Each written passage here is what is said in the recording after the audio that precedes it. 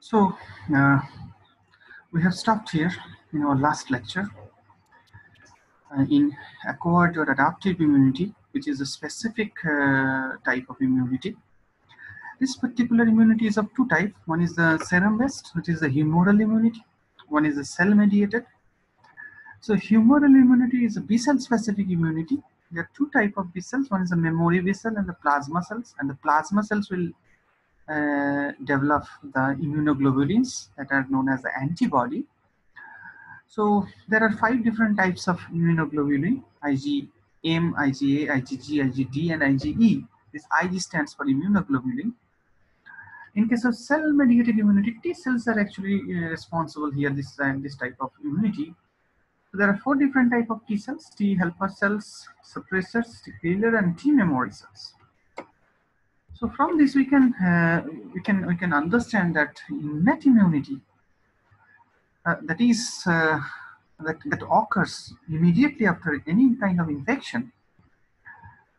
This is the first line of defense. This is a non-specific one, and the acquired immunity. This is it is a delayed response, a delayed onset, but it is a very specific type of immunity.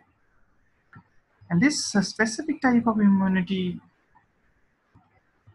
acquired immunity and the innate immunity, they have two different type of uh, function. But the acquired immunity uh, is responsible for the production of antibody, for activation of T cells. And both the type of immunity have two different mechanism. As I said, innate has a first line of defense. This is non-specific and adaptive is the second line of defense and it is specific. So both correlate with each other and they are actually uh, doing proper function and resisting our body, helping our body or protecting our body for different kind of infections. So this particular immunity depends uh, on different uh, parameters. The first one is the species immunity. So species uh, immunity denotes a total or relative resistance to a pathogen shown uh, by all members of a particular species. Uh, so for example, uh, chickens are resistant to Bacillus anthracis, the causative agent of anthrax. Rats, rats are, uh, are, resistant to Corynebacterium diphtheria, causative agent of diphtheria. But humans are susceptible to both, although humans are higher animals. But what is the exact reason behind it? It's still not clear. Next one is a racial one or race immunity. So it denotes a difference in susceptibility or resistance uh, to a particular infection among different races within a same species. For example, races with sickle cell anemia prevents uh, in Mediterranean coast uh, are, are, are, immune to uh, infection caused by malaria parasite uh, Plasmodium falciparum. So this is uh, only because of the genetic abnormality of the RBCs, the erythrocytes. And this results in sickle cell erythrocytes that prevents uh, the parasitism of Plasmodium falciparum. Similarly, individuals with a hereditary deficiency of glucose 6-phosphate dehydrogenase, the enzyme, are also less susceptible to infection of Plasmodium falciparum. Individual immunity will develop via vaccination or immunization to certain or particular type of diseases. Now, what are the factors that are actually responsible for innate immunity? So, placenta is a factor that is actually preventing infection, but still we can uh, get uh, some examples that infection with toxoplasmosis, infection with rubella, uh, infection with uh, cytomegalovirus and herpes virus still having uh, still there, although there are uh, and also uh, can produce congenital malformation. Next one is the hematopoiesis. So hematopoiesis is a cellular turnover of hematopoietic system and is supported uh, by a small population of cells. These are termed as hematopoietic stem cells. So stem cells are uh, capable of self-renewal and differentiation into individual lympho-myeloid lineages. So available evidences uh, indicates that uh, the decision of, particular stem cell to self-renew or differentiate and the decision of a, a multipotential progenitor uh, to select a lineage pathway during differentiation. In, in, in contrast, uh, proliferative kinetics of the progenitors, uh, namely survival and the expansion of progenitors, appears to be controlled by a number of interacting cytokines. So different cytokines are taking part here. Whereas proliferation and uh, maturation of uh, committed progenitors uh, are controlled by late-acting factors such as erythropoietin, uh, macrophage colony-stimulating factor, uh, granulocyte colony-stimulating factor, interleukin-5 progenitors at earlier stage of development uh, are, are, controlled by a group of several overlapping uh, cytokines like interleukin-3 uh, and interleukin-4 regulates proliferation of multi-potential progenitors uh, only after they are triggered to exit from the dormant state. The triggering of, uh, of, of, of, cycling uh, of dormant primitive progenitors and proliferation of uh, lymphohematopoietic primitive progenitors mostly appear to require interactions of early acting cytokines like uh, interleukin 6, granulocyte, colony stimulating factors, uh, interleukin 11, 12, uh, and uh, leukemia uh, inhibitory factor. Next one is uh, cell lineage. So cell lineage of an organism is a pattern of cell divisions during its development uh, these are uh, described by, by, by, by, following divisions in uh, living individuals or by uh, marking cells and examining their progeny. Some organisms or precursor, uh, precursor cells um, display invariant patterns of cell division in, in, which, in which specification of cell uh, fates is, is, correlated with cell division pattern. In other organisms, uh, lineage patterns are uh, variable and not correlated with uh, cell fate. So invariant cell lineages uh, reflect both cell autonomous mechanisms of uh, fate determination and highly reproducible cell-cell interactions. And uh, uh, in, in, genetic uh, analysis of cell lineage has focused on systems where cell lineage and cell fates are correlated, such as a particular type of cases like C. elegans or the nervous systems of Drosophila. Maturation uh, affecting cell lineage in this uh, animal have been uh, informative in understanding both the mechanisms of uh, cell fate specification and also the control, also to control um, control of, of, of cell proliferation. The history there is a history. So cell lineage studies began with uh, with with Whitman description of lineage patterns uh, in, uh, in leech in 1870s and continued with description of lineages in many invertebrate animals, including nematodes, sea urchin, and uh, uh, uh, ascidians. uh, it was found that, uh, that in some animal groups, such as nematodes and ascidians, the pattern of cell divisions uh, was uh, almost identical from individual to individual.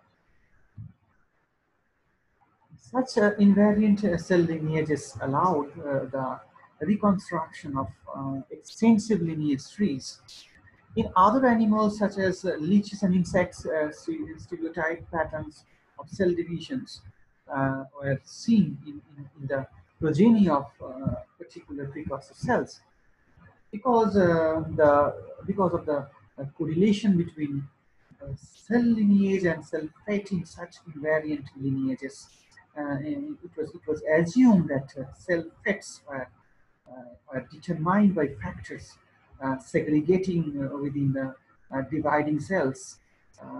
The, the, the, mode of development was const, constructed, sorry, constructed and clustered with, with, with the inter, intermediate cleavages observed in other animals in which cell lineages are variable and cell fates are determined by a sales interaction with its, its, its, its environment.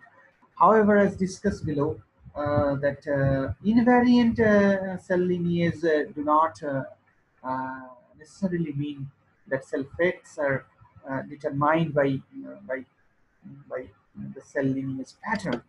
So there are different type of cell lineage pattern to be followed, like uh, direct observation, like clonal analysis, but we are not going into detail uh, here.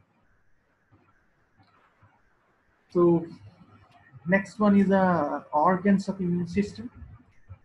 So the immune system consists of many parts uh, uh, that work together to defend the body uh, against invaders. The primary parts of the immune system include the bone marrow, the thymus. Uh, bone marrow is uh, extremely important to the immune system because all the body's blood cells, including T and B lymphocytes, originate uh, from bone marrow. B lymphocytes remain in the marrow to mature, uh, while T lymphocytes travel to the thymus. The thymus is a, a bilobed gland, uh, gland. Here you can see uh, in this picture, here you can see, so this is your bone marrow to uh, bone marrow. Here you can see this is the bone marrow to the to the thymus here. So they are going to the thymus. It's a bilobed gland located uh, above the heart, uh, behind the sternum and between the lungs. The thymus is uh, only active to, to puberty, then it slowly shrinks and is replaced by fat and connective tissue. This thymus is responsible for producing the hormone thymosin, uh, which in, in, turn aids in the uh, in the production of T cell. Uh, the thymus, uh, the T cell multiply uh, multiply acquire the different uh, antigen receptors and differentiate into helper T cells, then cytotoxic T cells. Here you can see. So helper T cells, cytotoxic T cells, various proteins like CD4, CD8 are expressed in the T cell surface. the, the thymus will have produced all the T cells and individuals need to meet by, by puberty. After the T and uh, B type of lymphocytes are mature in the thymus uh, and bone, uh, bone marrow, uh, and they then travel to the lymph node and, and spleen here. Again, you can see the lymph node and, and, and, and, and spleen here. So in both the cases, here the lymph node and the spleen will travel here so uh, they remain until uh, the immune system is activated. The lymph nodes uh, are located throughout the body. The spleen is located in the upper left area of the abdomen, uh, behind the stomach, uh, behind the stomach, uh, and under the diaphragm. The main function of the spleen is to filter the blood. Healthy blood cells easily pass through the spleen. However, damaged red blood cells are broken down by macrophages uh, uh, in, in, the spleen. The spleen serves as a, as a storage unit uh, for platelets and white blood cells. And the spleen aids uh, the immune system by identifying uh, microorganisms that may cause infection. In addition to the lymph node and, and spleen, uh, the secondary lymphoid organs are also there. These are the primary lymphoid organs, bone marrow, thymus, uh, spleens, uh, etc. Uh, uh, thymus at the, the, primary lymphoid organ. The secondary lymphoid organ, like spleen and lymph nodes, the secondary lymphoid organs are, are mucosal associated lymphoid tissues that are called MALTs and, and, and gut associated lymphoid tissues that are called GALTs. so plays a vital role in immune response or immune system, uh, although they are considered to be part of uh, the lymphatic system, the secondary lymphoid organs. So MALT are uh, lymphoid tissue found in part of the body where mucosa is present, such as uh, intestines, eyes, nose, skin, mouth. They uh, contain lymphocytes and macrophages that defend against uh, pathogen attempt attempting to enter uh, from outside the body. Whereas GALTs are uh, lymphoid tissues found in, uh, in, in, the, in the mucus and submucus of the gastrointestinal tract, tonsils, appendix, and Peyer's patches in, the, in the small intestine. So next one is the cells of immune system.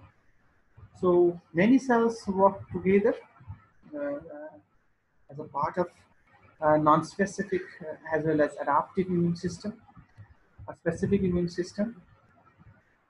Uh, so the immune cells are sometimes called white blood cells or leukocytes, and they also originate from bone marrow, uh, from a uh, bone marrow from a common precursor, the pluripotent uh, stem cell.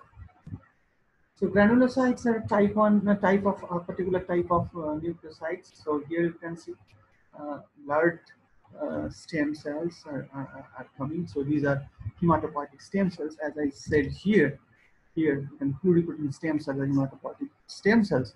So they are getting here this lymphoid lineage. So we have already discussed about the lineages. So two type of lineages are there. One is the lymphoid lineage and the myeloid lineage. So lymphoid progenitor and the myeloid progenitors are there. And from the lymphoid progenitors, we are getting B cell progenitor, the natural killer cell, and T cell progenitor. For myeloid progenitors, we are getting neutrophil, eosinophil, and monocytes.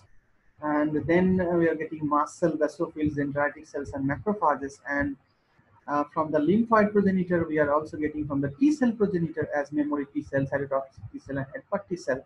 From B cell progenitor, we are getting memory B cell and the plasma that we have already discussed. So uh, here we can see uh, can see that the granulocytes are a type of leukocyte, and uh, and, and uh, that contains uh, granules in their uh, cytoplasm containing enzymes.